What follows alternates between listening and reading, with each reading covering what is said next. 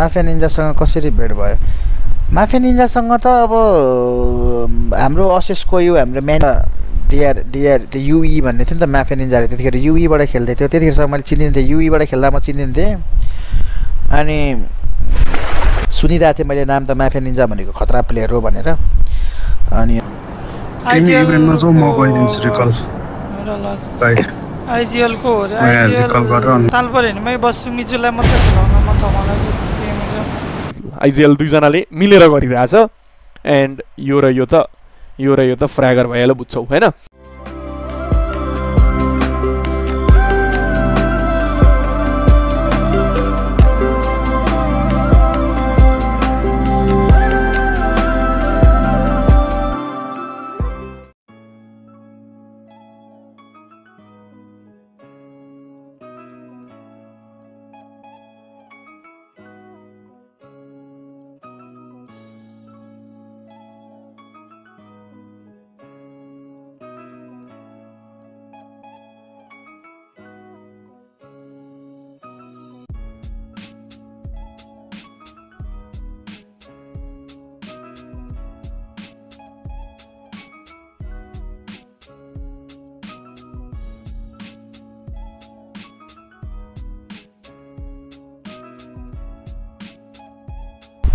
Mafia निन्जासँग कसरी भेट भयो?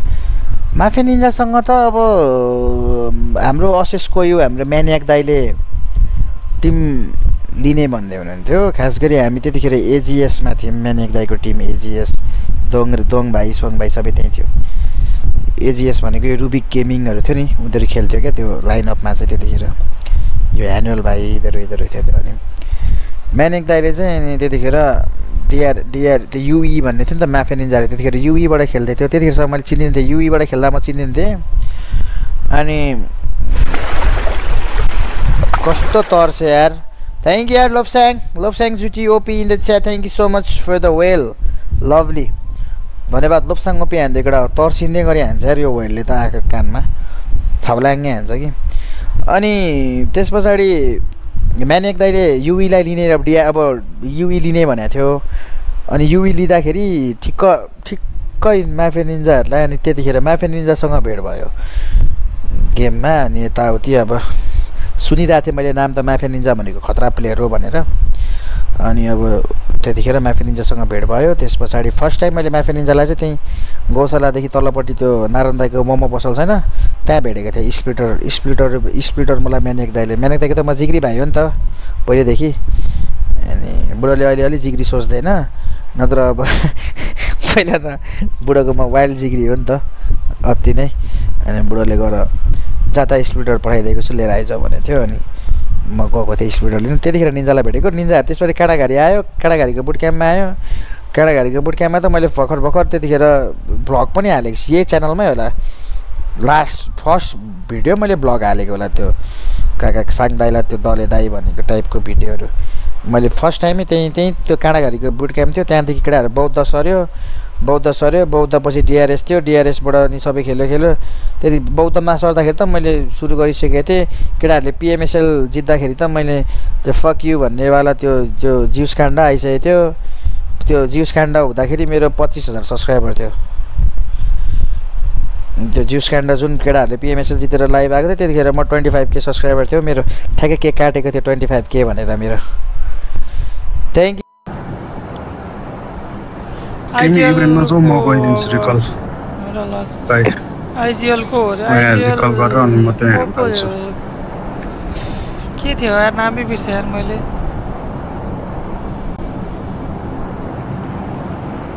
Faisal Faisal Faisal Faisal Faisal Please recall me. Got it. Playing for गएको अरे I'm recalling a teammate. Fix गरेको छैन जो पनि हुन्छ Thanks. ताल पऱ्यो भने मै बस्छु मिजुलाई मात्रै खेलाउन मन छ मलाई चाहिँ के मिजु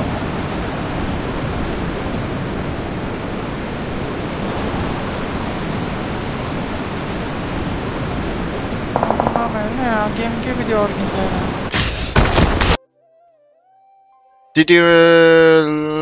हिमसनलाई यस्तो हो क्या हिमसन भाइ पेक्का भाइको आइजिएलबाट खेल्न खोज्छ त्यो कारणले ऊ चाहिँ गयो क्या एचकेपमा गएको हो। प्लानमा किन त्यस्तो ओभिई लब केएनएक्सए कान्छा यही हो हेर अहिलेको playing four this is the playing four होइन? अनि आइजिएलको भन्ने कुराहरू धेरै उठ्छ। यो दुईजना अहिले चाहिँ कम्बाइन्ड कम्बाइन्ड चलिरहेछ है। एकजना मात्र यस्तो मात्र भन्ने छैन। के अरे कम्बाइन्ड तरिकाले चलिरहेछ केटाहरू so yeah and red I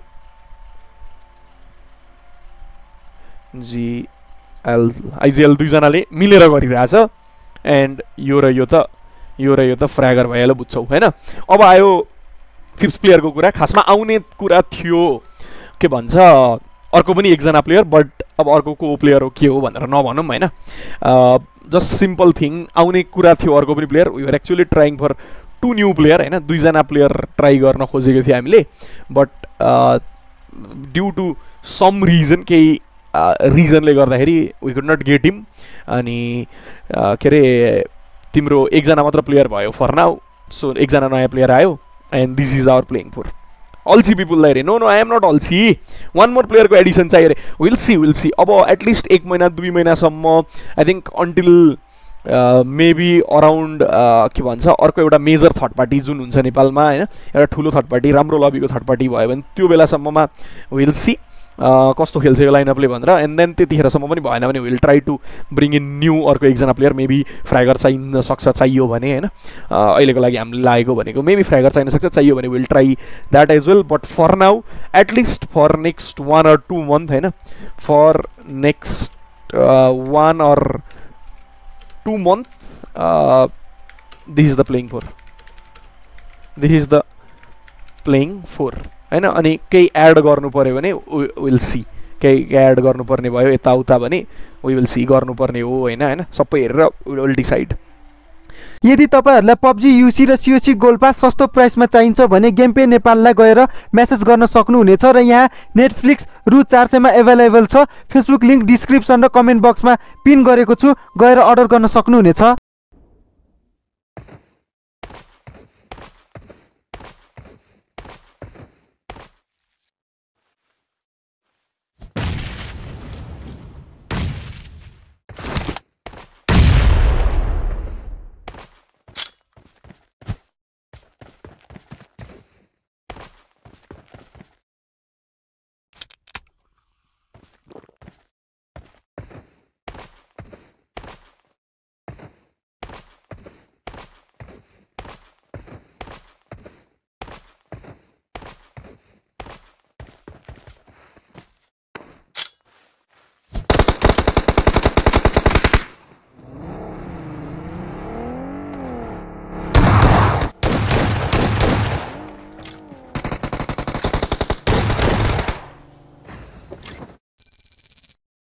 यो चिकन डिनर निकालेका छन्। चिकन डिनर आइसकेको छ अहिलेको लागि। फेरि पनि हामी देखिरहेका छौँ।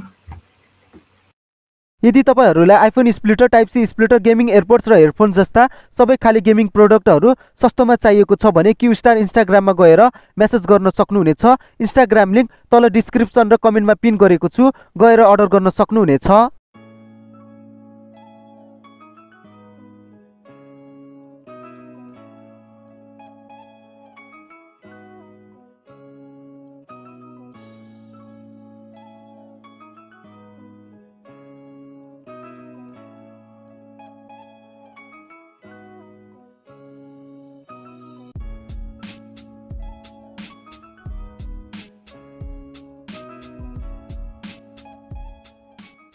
ल आरएस नेपाली ब्रोलाई सबले सब्सक्राइब गरिदिउँ ल।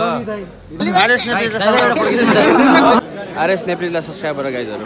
आरएस नेपालीलाई सब्सक्राइब गरिदिनुहोस् है। त सबजना आरएस नेपाली ब्रोलाई सब्सक्राइब गरिदिनु है।